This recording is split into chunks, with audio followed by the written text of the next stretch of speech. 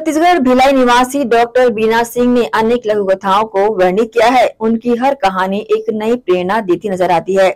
ऐसी ही एक कहानी, हिम्मत हम आपको संक्षिप्त में सुना रहे हैं। इस कहानी का उद्देश्य उन्होंने अपनी जुबानी बताई। देविका आज बड़े बूझे मन से मायूस होकर एक टीले पर बैठी थी। बगल से कल कल धारा बह रही थी। अपने ही विचारों के जाल में ये उलझती जा रही थी। उसे कोई समाधान दिखाई नहीं पड़ रहा था, सिर्फ़ एक आत्महत्या के सिवा। और मन में ये ख्याल आ रहा था कि पिताजी की मृत्यु के बाद उसने घर में ट्यूशन पढ़ाना शुरू किया। फिर एक स्कूल में भी नौकरी की। घर की ट्यूशन और स्कूल की पढ़ाई से माँ अपनी तीन बहनें और एक भाई का खर्च चलाकर सबको पढ़ाया लिखा।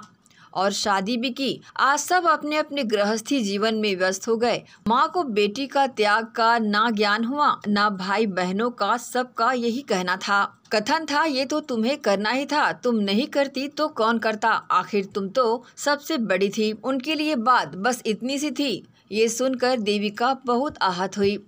इतना करने के बाद भी आज क्या मिला? जहाँ मान सम्मान ना हो, अब इस रिश्ते में जीने से बेहतर है आत्महत्या ही कर लूँ। फिर उसकी नज़र टीले के दरार पर पड़ गई, जहाँ कोमल सी हरी हरी दूब घास निकलकर मुस्कुरा रही थी।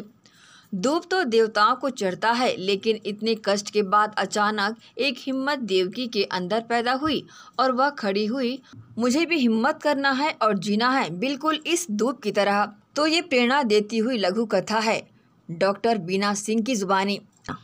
मैं डॉक्टर बीना सिंह रागी अपनी इस स्वरचित लघु कथा, हिम्मत से समाज को, अपने चाहने वाले को एक संदेश देना चाहती हूँ कि हमें कभी भी किसी के बहकावे में नहीं आना चाहिए। कोई यदि तारीफ़ की पुल बांधे तो उसके बहकावे में हमें बहना नहीं चाहिए।